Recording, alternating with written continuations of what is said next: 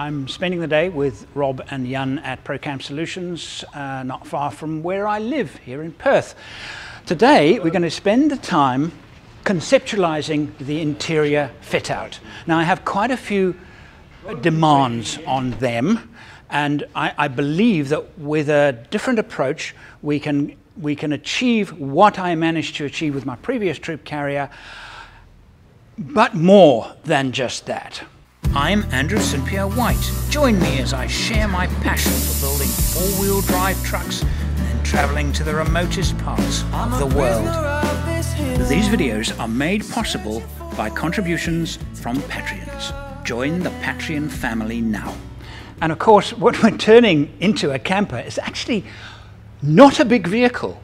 We have to be very careful with how we use every square inch of the inside of this vehicle. Gonna, Right. okay, so I'll look good for camera, as you do.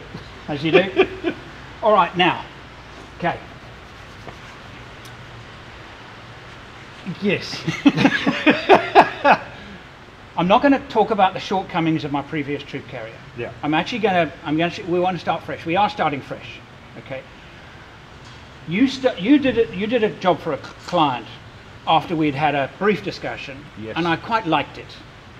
Actually, I really liked it. And that's why we called you in to have a look. So, what we're going to do now is I'm going to tell you what I want, And I'll tell you what you can. and you're going to tell me what I can have. Now, normally in a situation like this, if your fitment center is, they should ask you first up, what kind of camping do you do? Yeah. That was, should be their first question. Yeah. You know what Because kind that, of that camping all I do. determines on how are you're going to set the Yeah. vehicle up. It's- with you, Yeah. So it's far your own- easier to do flashy stuff for somebody who's, uh, who loves weekend trips and nothing more. Yeah. More demanding and more compromises to somebody like myself, like doing long distance trips yeah, and living out of the vehicle for long periods of time. yeah. So you've got to have specific things in there, like more water, Yes. more storage, Yeah. refrigeration, electrics. So- This is what I. This is how I see it working. Yeah, I see this part of the vehicle, this side of the vehicle, yeah, being from the from the seat all the way to the back approximately this high so I can sit on it comfortably okay? Sit on it comfortably and work inside the vehicle. With the roof closed or open. very good question. So here's the thing I want to be able to use this space to sit on Yep. lounge about and even sleep if that isn't open. So I want this to be, part of this to be a sleeping area, Yeah, flat, without, because I am going to do a roof tent uh, conversion. yeah, So this is going to be a camper conversion. But I had a situation in extreme weather where I couldn't sleep because of the flapping. Yeah. I would have loved to have been able to close it and just Just curl up uh, in the back, but I couldn't. Good morning. Terrible, terrible night. Well, this is where I ended up last night. As you can see, not the same place where I went to sleep. About three o'clock in the morning, I finally got to sleep, and I'm in a different place because uh, the wind veered. The noise from the generator across the water became so loud, woke me up. That was sleep gone. So then I moved to find another place. After driving along the track in the middle of the night, found another place, pointed the car into wind, except uh, I was in the teeth of the wind and it was it was blowing gale force. So the whole vehicle was rocking. So I packed it away again and and eventually ended up here. So, and also during the day, a big open flat area is really useful real estate. To me, if you've got too many boxes and things and areas where items have dedicated spaces to be packed, there's very little real estate to put stuff while you're actually camping. Yeah, You understand what I'm saying? but in the same sense, you still want certain things to have a designated spot. Precisely. Some things Yeah. must have a dedicated spot. Yeah. So that's why a large flat area here and we have to work out how best to use this because this is going to be a very important storage space. Yeah. Because on that side, we means that we might be able to go a little bit higher in places. Mm-hmm. I still think that the fridge is probably going to be best behind the driver's seat, It's a good, And especially if you're going to put the gull wing in. And we're going to put a gull wing, So it's an and we're going to put a shower in. Yeah. You don't use your fridge while you're inside the car. Well, you Really. can if you, know want to, I mean? but you But generally don't. You generally, but you can outside. if you have to. Yeah. Okay, and so this area here can actually be quite high, but I want a workspace, so maybe it's just a slide out workspace. I don't. This is where you Yeah. come in. Yeah. So we need to use this, make maximum use of the height. Yeah. Because we're not using any of the height here, we're going to have to find storage space somewhere else. So maybe we use it there. And the height's always best on this side anyway, because Yes. you always you never want to cl- close that window up. This window has to stay open. That has to stay. Has to stay open for when visibility. you're visual, when you're turning out in traffic. And. Absolutely. Yeah. That- That's a no. That's a no-brainer. That must stay glass. Yeah. Okay, so we can actually put three gull wings for access. Yep. We can talk about that later. Yeah. Uh, but as part of this, the gull wings are definitely a consideration because now if I have access, well then access to what? So if you're going with the gull wings and you decide you're going to go a gull wing box, you've got to decide whether you want access from inside and outside or just outside. Just so that you, when you're designing it, you know what you're putting in there basically because that, they are a designated spot. That's Yes. definitely a designated spot. Yes. It's not a, not a stuffy hole. Yes. So that'll affect on how high we go and what we put on the inside. Okay, that does. It affects the height because it would be no point in having a gull wing to the back of a box. But maybe it's a, it's a, if that's a kitchen box, it can be accessed from both inside and outside if we have a gull wing. Yep, yep. Which I have done before, where I've allowed um, the one guy. He, he basically lives in the back of his car, um, so he wants to be able to make a quick cuppa or pot noodle, that kind of thing. That was his kitchen pantry. Actually, it was on that side, um, and we actually formed a backboard. So when you're sitting, it was at an angle. So that was your backrest. But then the actual backrest on that section we pulled down and he had full access to his pantry there for his quick stop if you just wanted to stop and have a quick cup of bread, putting down the rain, sit in the car, you've just got access to the outside as well. So no need to go out in the rain and all the rest of it. The way I would set up Yeah. is we start off with that side of the vehicle. Yeah. That's where you're going to be sitting. First thing we need to sort out is the height Yes. of your city Yes. What I found in Troop is, is the ideal height is a milk crate. Milk crate. A milk crate. That's what I use them to measure. Okay. All right. And they're a, approximately 340 mil, right. which sounds really low. Right. But what you've got to take into account is when you've got your roof closed, True. you don't want that right angle legs sitting position. You need more of a, a sort of a squat position if you're sitting square. But what Right. you've got to remember is you've got all this leg room right the way through. That's why we have a backboard. Because then you can turn slightly and stretch your legs out and Oh. just relax down. Oh. Okay. Now, because of the height of it, it doesn't affect you that much because now you're stretching out. Okay. Okay. No, I like that. I, I'm, Yeah. I'm, I'm, I'm, I like that a lot. because even though we can go higher and your head could be touching the top, you'll find that when you're sitting in there, you're going to start Uh, crunching over. Yeah. If the if the if the roof is right there, you even you this even if it's this you're close, gonna- you you you're will going to crunch over. you will. So lower it down a little bit. and you're fine. So here's the thing. Okay. So with all that in mind, I need to carry 100 liters of water. yep. Okay, and I want to do the same shower system as I had with my previous troop carrier, with a few So adaptations. Egon system. with the Egon Yep. water hub. Yep. Okay, um, but it's got to be as good as it was then. okay, Yep. and um, we, we need uh, enough place for batteries and the electric system. But the big question I have is that is that is that water system and the ability to carry at least two additional jerry cans, whether they be fuel or water, in addition, and I must, and must be able to strap them down somewhere Yep. safely. That in addition to all of the things that we're doing now.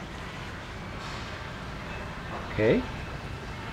So with that in mind, I would go across the front, spanning the width with the water tank, Right behind the seats. right behind the seats. I agree totally.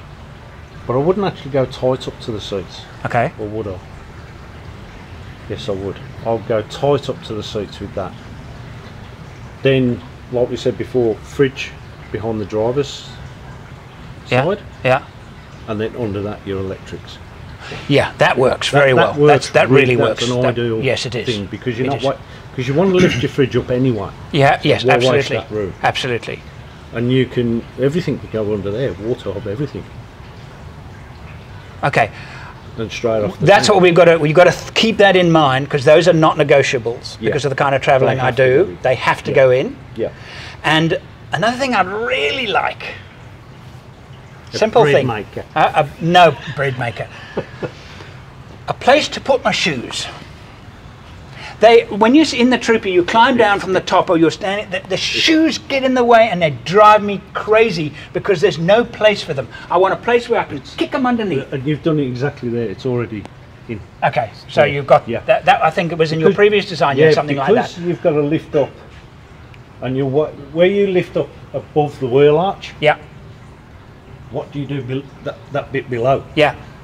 It's a perfect little Okay, poke hole, there you go. and you just There you go. pull your shoes in. It's little things like that Yep. that actually make a big difference. Yeah. Why does the awning have to be on the left? There's no real reason. A lot of people go with that side because of pulling up laybys, that kind of thing. It's a lot easier just to pull the awning out on that side. But how often are you going to pull the awning out when you're on the I don't, roadside? I don't. And you're not going to be on the roadside anyway. No. You don't No. go where there's roads. No. no. it- It's not a So, big. That's no, not a big so issue it's for not me. a- and look, in a way, it would make even more sense because then you can have it right next to your fridge. Okay. But on a downside, I've thought of a downside. What's your downside? are you putting a tracks table on that side? So, yes, the tracks table is such a magic thing. Yeah.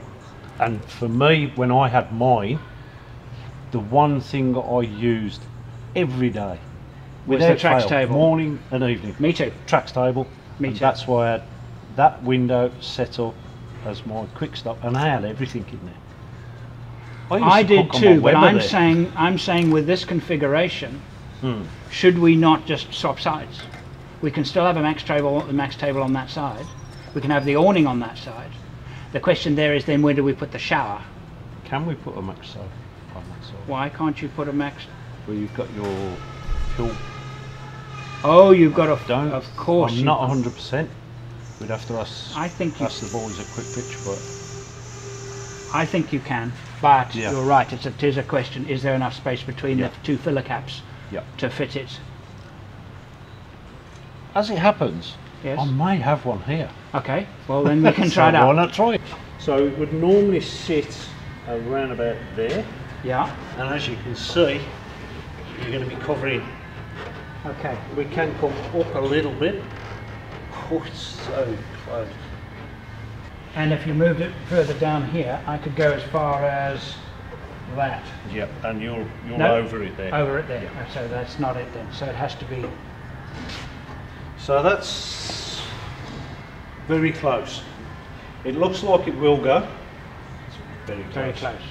Then what would we do with the shower? Because the nice thing before with the shower was open it up. Top of the fridge was the kind of a shower. Put your towel there, put your shampoo there, open the gull wing, Yeah. and have a shower.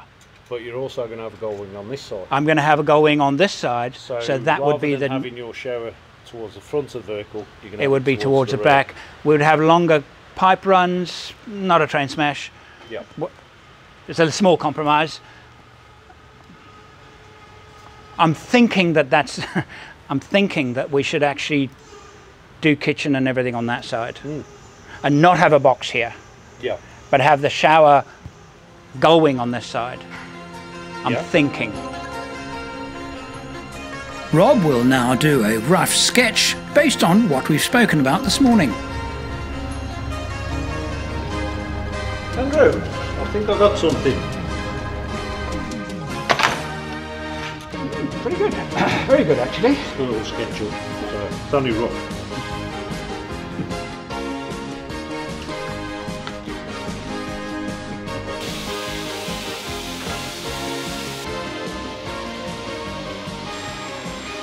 And he's now knocked up a quick mock up that'll give us an idea of heights, widths, and sizes. Maybe a touch lower, but then you've got a backrest in there as Ah, well, okay. which we can narrow down to any size. So the draw will be able, will come this way. Yep. Okay. So we'll allow a setback so it For my a bit feet. More foot room. Yeah. Draw will come back in there 100 mil. Yep.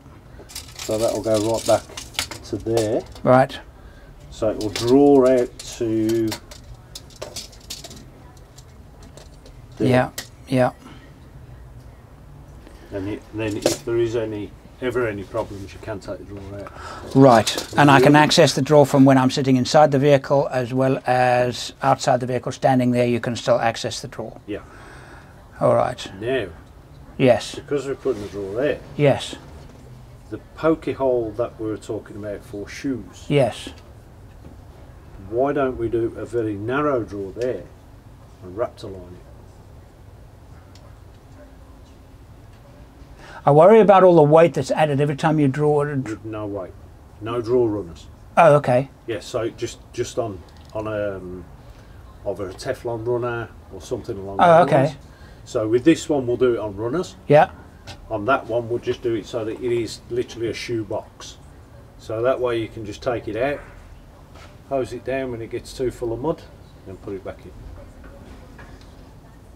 Can we can we leave that till the last? Yeah, yeah. Because I sometimes wonder, pull off shoes, slide them out of the way. Simple as that. Yeah. As opposed to pull off shoes, pull out the drawer, put them in, close the drawer. Yeah. Yeah, it wants to be a lot further back, doesn't it? Yeah, it would need to be a lot further back. Yeah. Height-wise, definitely not high. No, no higher than that. No. No. That's probably about right though. Mm. And then I think once you've got that sliding out, My back was upright, which it would be if the tent was up. yeah. If the tent was, I would Yeah. have, But would you get away with going any lower? you could go slightly lower. Yeah. Spin that box. It's going the walkway narrower at the moment. Oh, okay, That gives yeah, us yeah. an idea of the height. Yeah. It's a little low. Thinking about the, cur- the bend in my knees. Yeah. Split the difference and I reckon you've got But it perfect. if Mhm. you're looking at putting your feet in there, That is true. Actually, that's easier yeah. Because, because your you have an in. You have a Your unit can come into here, Yes. but we can push the foot space in. right. You're going to need to do that Yeah. to be comfortable. Yeah. It's difficult to know whether you, you need a backrest at all. Mm. Actually, I don't know if you do. It all depends on how. I mean, if you're going to be working on your computer, you're not really going to be So now I can't back, push back now because the thing's going to. I can go back a little bit. Yeah. Okay. So that there, if I had a cushion behind me, that'd actually be quite comfortable. Mm. I could push out my legs out about probably about that far. That would actually be quite a nice thing. I think this is the height you should go with, Yep. and that height is set. Yep. Travel body there, accessed outside only. Yep.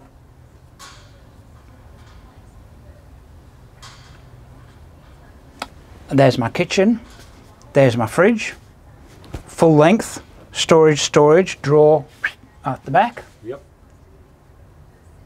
So, Then as we get to the point where we've got the carcass and everything built, yeah, and hopefully we've got the roof on, Yeah. or the convertible, yeah, then we'll have a look and play with backrests and that kind of thing. yes, Because everything could be in place. yes. Then we can play with We backrests. can play with the backrest.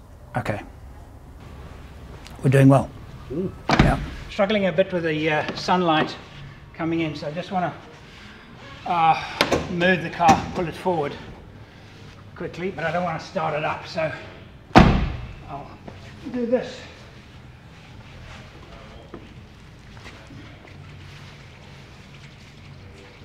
Yeah, that's good. The biggest challenge, of course, is the water tank. It's such a big item, and we have to play with products that are readily available or decide whether we Custom made. make our own. If I think about useful versus less useful real estate, Yeah. this area that I'm sitting in now is not very useful No. because I can't access it from outside the vehicle. It's dead space. It's almost dead space, so that's where we put the boiler, that's where we put the electrical systems, and we put water tank, perfect place for a water tank. yeah. This is using a lot of space. From here, honestly, from here there to there, mm-hmm. that's really useful real estate. So I'm not. Could this go under the drawer? Yeah. If we So tilted it turn this way, you can turn it and we can get these made extend the width we can extend the height we can drop the height whichever way see, I had thought about a full width tank far forward as possible for weight distribution. Yeah The trouble is with that, we also want to put a, um, a cool drinks fri- fri- fridge between the seats, and that comes back quite far, right into that that piece of real estate. that useless area suddenly become really useful Yeah. because of that fridge. So I'm wondering if we do this type of tank, but we use this piece of real estate here. In other words, we do a cutout like this, except the cutout is for the fridge. To Will we get- across the front across the front, full width, far forward as possible, but with a cutout like this, but the cutout is in the middle where the fridge would go. And probably the same height as this. How many litres is this? this is around about 65 i believe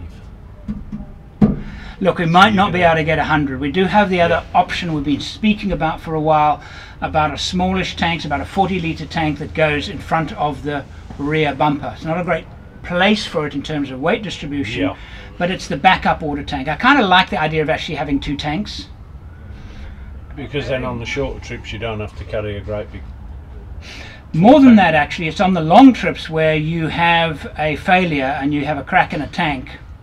You've got a serious Got problem yeah. if you only have one tank. So that's kind of the thought behind it. yeah I would like to. I, I'm still thinking that we should persevere with the idea of having it in the best possible place, weight-wise, and also using this space low down, right behind the seats, which is really good for nothing. yeah the fridge that's going in the middle Yeah. um, can that be raised up at all No, it can't absolutely not. Otherwise, you're driving like it this. gets too much It, yeah. it has to be as low as possible. We, in fact, we have to cut the bracket that Toyota has put in there for the center console they put in. We actually have to cut that bracket off to get it down to get it down. Right. So the only way we could go is around it, but we can go higher with the tank. You can go What- higher with the tank. restricting no, you go can go higher? higher with the tank. Yeah. You can, definitely. So we could go narrower and higher, Yes, and then wrap around, yes. which is good. But you have to watch how many angles and returns and stuff you put Well, on. Well, I'm looking in- at this tank here. I'm looking at this tank here. Yeah. This tank here You're with this design spun. spun, Yeah. yeah, 90 degrees this way. That's both would be about both sides would be about this big, ish, Yep. slightly narrower, but both would be this size, and the back would probably be about that width. So it would be, and it would be a bit higher than this. I would say the back could go quite a bit wider there because, like we say, I we're think- talking about that dead area. Yes, I agree. I think we should draw this out and see what it looks like. Yeah.